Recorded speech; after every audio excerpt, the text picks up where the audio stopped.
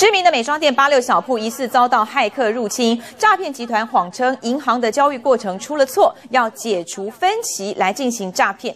一个月内就有八十三名的民众受害，一名粉领族只买了五百九十九元的粉底液，前前后后却被骗了二十一万元。警方呼吁消费者接到类似的电话，要赶快向银行来查证，才不会受骗上当。음, 이렇게유치한 프로포즈 하게 될 줄 몰랐어.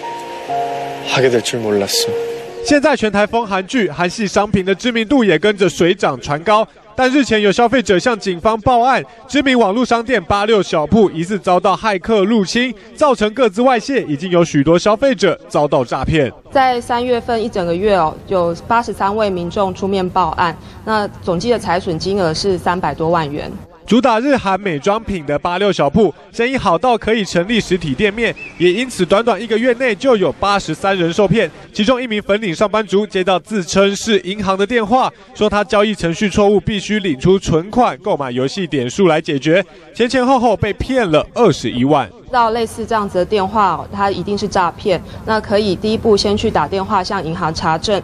警方呼吁消费者接到类似电话要马上查证，至于各自外泄的问题，还要再调查厘清。记者陈如群、魏有德台北报道。